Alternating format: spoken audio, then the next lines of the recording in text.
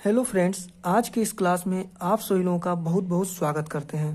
Friends आज का एक क्लास जो है, आप लोगों के लिए बहुत ही ज़्यादा इम्पोर्टेंस है, क्योंकि आज के इस क्लास में मैं आप लोगों को बताऊँगा कि कार्बोरेटर क्या होता है और फ्यूल इंजेक्शन सिस्टम यानी जो आज के बाइक्स में और आज के बहुत सारे ऐसे फोर व्हीलर्स में फ्यूल इंजेक्शन सिस्टम्स का यूज़ किया जाने लगा है कार्बोरेटर को रिप्लेस करके।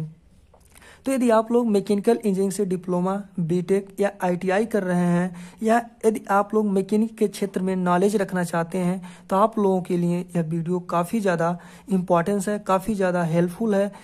आप लोग कार्बोरेटर के बारे में जानेंगे इस वीडियो में और फ्यूल इंजेक्शन सिस्टम्स के बारे में जानेंगे। मैं आप लोग को बताऊँगा कि कार्बोरेटर के कौन कौन से एडवांटेज पॉइंट हैं कौन कौन से डिसएडवांटेज पॉइंट हैं। उसी तरह से फ्यूल इंजेक्शन सिस्टम्स को भी बताएँगे कि एडवांटेज और डिसएडवांटेज क्या है।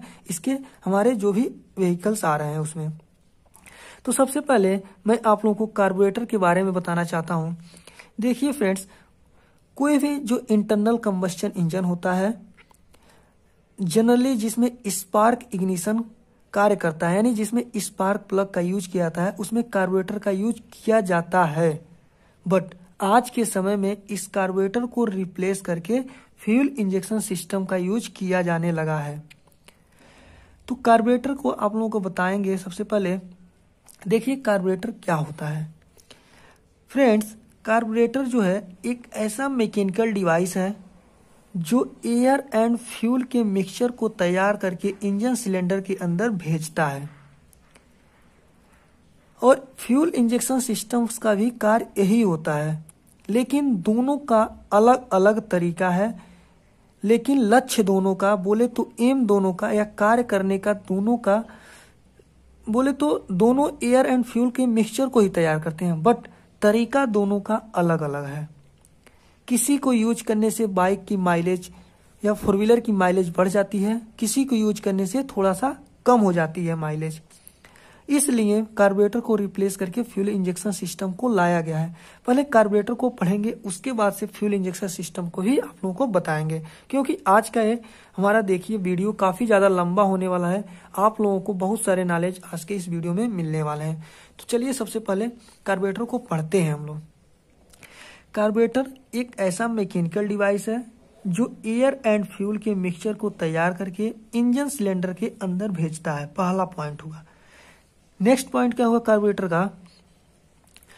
तो कार्बोरेटर बर्नौलिस थियरी के ऊपर कार्य करता है। अब ये बर्नौलिस थियरम क्या होता है? यदि आप लोग इसे नहीं जानते हैं तो मैं इस वीडियो के डिस्क्रिप्शन में बर्नौलिस थियरम का लिंक दे दूँगा। आप उस लिंक से जा करके उस वीडियो को देख कर बर्नौलिस थियरम को समझ सकते हैं।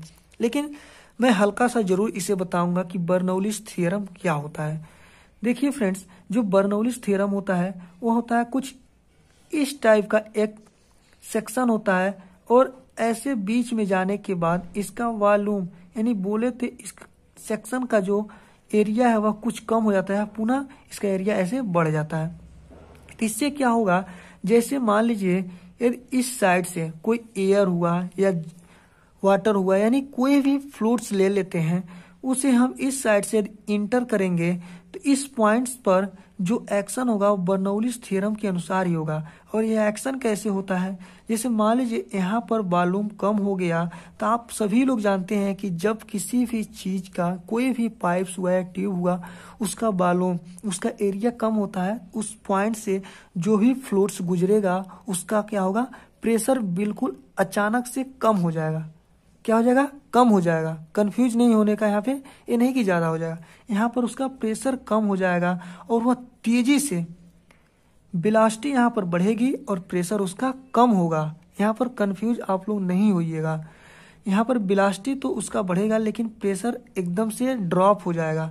इसके कारण इस साइड से यदि आप कुछ भी इसमें प्रवेश कराएँगे तो बहुत जल्दी से इसमें अंदर चला आएगा।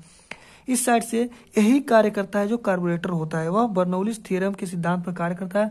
ऊपर से एयर आता है, एयर क्लीनर के थ्रू, और इसी जगह पर जो हमारा फ्यूल इंजेक्टर होता है, यानी फ्यूल को इंजेक्ट कराया जाता है कार्बोरेटर के अंदर, इसी जगह पर कराया जाता है और आसानी से फ्यूल इंजेक्ट हो जाता है और यहाँ पर फ्यूल और एयर का मिक्सचर तैयार कर जाता कर लेता है।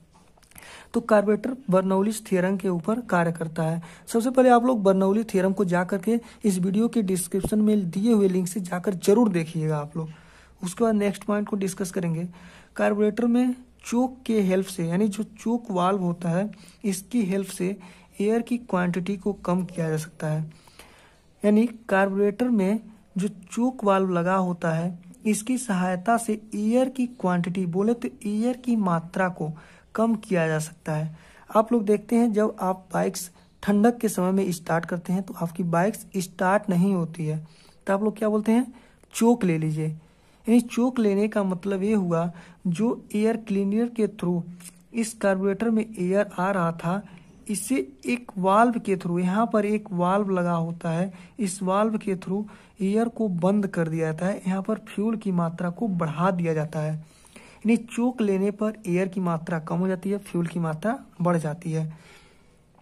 नेक्स्ट पॉइंट होगा कार्बोरेटर में थ्रोटल वाल्व की सहायता से फ्यूल की मात्रा को कंट्रोल किया जाता है जो थ्रोटल वाल्व होता है, यह हमारा एक थ्रोटल चैम्बर होता है, उसमें यूज़ किया जाता है कार्बोरेटर की कार्बोरेटर में थ्रोटल वाल्व की सहायता से फ्यूल की मात्रा को कंट्रोल किया जाता है। जो सॉरी जो थ्रोटल वाल्व होता है, यह एयर और फ्यूल के जो मिक्सचर तैयार किया होता है, इस मिक्सचर को इंजन सिलेंडर में भेजने से पहले थ्रोटल वाल्व की सहायता से कंट्रोल किया जाता है। न कि जितना मिक्सचर तैयार होगा, उतना इंजन के अंदर भेजा जाएगा। बल्कि थ्रोटल वाल्व की सहायता से इंजन पर लोड के अनुसार इंजन सिलेंडर के अंदर भेजा जाता है। यह सारा कंट्रोल जो होता है मैकेनिकली होता है। मैकेनिक के हाथ में होता है, वह कंट्रोल करता है।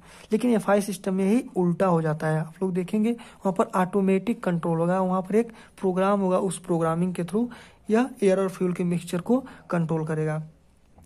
नेक्स्ट है कार्बोरेटर एक economical and long life device है। यानी कार्बोरेटर एक सस्ती और लंबा समय चलने वाला डिवाइस होता है। यानी यह किफ़ायती होता है काफ़ी, क्योंकि जब कार्बोरेटर में आपको कोई भी दिक्कत होता है, आप उसे जा करके एक मैकेनिक से दिखा करके सही करा लेते हैं। लेकिन वही, यदि आप एफआई सिस्टम का यूज़ करेंगे तो वहाँ पर एक प्रोग्राम होता है, उसके लिए एक स्किल मैकेनिक की ज़रूरत पड़ेगी उसे सही करने के लिए। नेक्स्ट पॉइंट होगा कार्बोरेटर में सब कुछ मैकेनिक तरीके से ऑपरेट होता है।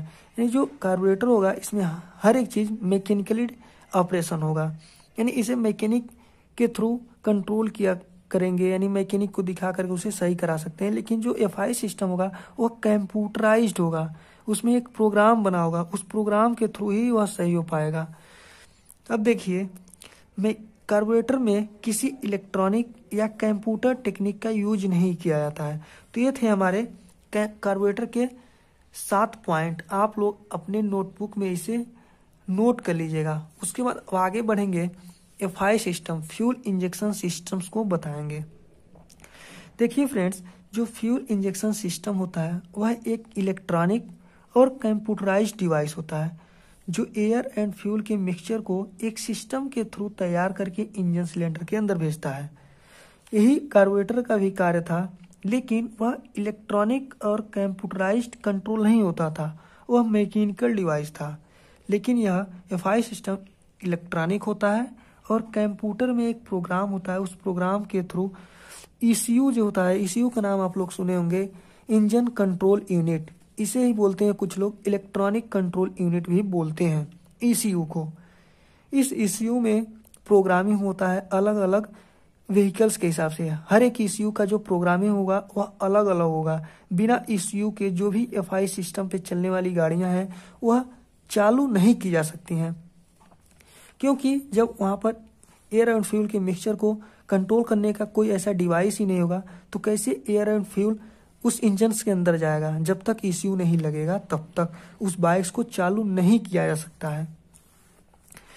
देखिए फ्यूल इंजेक्शन सिस्टम इलेक्ट्रॉनिक और कंप्यूटराइज डिवाइस होता है, जो एयर एंड फ्यूल के मिक्सचर को तैयार करता है और यह इंजन सिलेंडर के अंदर भेजता है।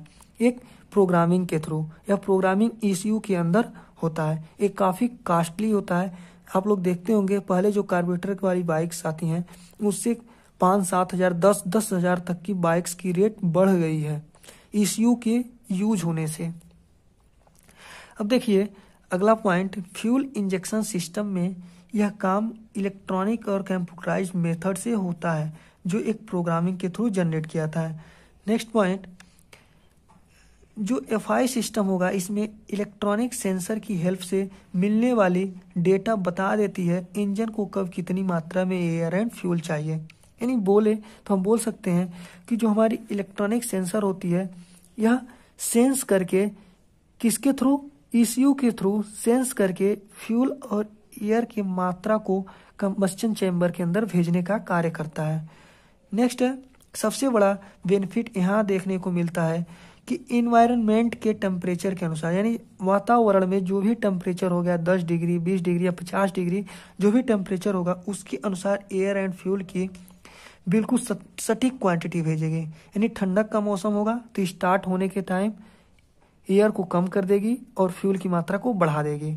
और वही गर्मी का टाइम होगा तो वहाँ पर एयर एंड फ्यूल की एक रिक्वायर्ड मात्रा को इंजन सिलेंडर के अंदर भेजने का कार्य करता है, जो हमारा एफआई सिस्टम होता है। एफआई सिस्टम इंजन के लोड के अनुसार एयर एंड फ्यूल की मिक्सचर को तैयार करता है। यानी जो एफआई सिस्टम होता है, उस इंजन पर कितना लोड पड़ रहा है, उसके अनुसार इंजन सिलेंडर के अंदर एयर एंड फ्यूल की मिक्सचर को तैयार करके भेजता है। तो आप लोग देखिए, यहाँ पर कार्बोरेटर और एफआई सिस्टम को। आप लोगों को क्या समझ में आया? हमारे अनुसार यहाँ पर यह समझ में आता है कि कार्बोरेटर जो होगा, वह इंजन की माइलेज के साथ छेड़छाड़ कर सकता है। यानी जो मैकेनिक उसे सेट करेगा, हो सकता है कि वह ऐसा सेट करे कि इंजन की जो माइलेज है कुछ कम हो जाए या कुछ ज़्यादा हो जाए। लेकिन एफआई सिस्टम यूज़ जिस बाइक्स में हुआ रहेगा, उसमें एक ईसीयू होगा, ईसीयू में प्रोग्रामिंग होगा। उस प्रोग्रामिंग के थ्रू ही उस इंजन को उतना ही एयर एंड फ्यूल का मिक्सचर भेजा जाएगा, जितना उसे रिक्वायर होगा। लोड ज़्यादा होगा तो ज़्यादा फ्यूल का एजम्पन करेगा। यदि कम होगा तो वहाँ पर कम फ्यूल को यूज़ करेगा। इस तरह से एफआई सिस्टम वाले बाइक्स जो होंगी, उसकी माइलेज थोड़ा ज़्यादा होती हैं। कंपेयर टू कार्बोरेटर यूज़ करने वाली बाइक्स की। यदि अच्छी तरह से सेटिंग नहीं होती है तो कार्बोरेटर वाली बाइक्स की माइलेज कम हो जाती है। लेकिन एफआई सिस्टम में नहीं होता है। तो आप लोगों को यह वीडियो कैसा लगा, आप इसे कमेंट में ज़रूर बताएँ। नए टॉपिक पर कोई भी वीडियो चाहिए तो आप उसे कमेंट बॉक्स में कमेंट करके बता सकते हैं कि किस टॉपिक पर वीडियो आपको चाहिए। आज के लिए इतना ही रहने देते हैं। मिलते अगले वीडियो में नए टॉपिक के साथ। तब तक के लिए जय हिंद, जय भारत।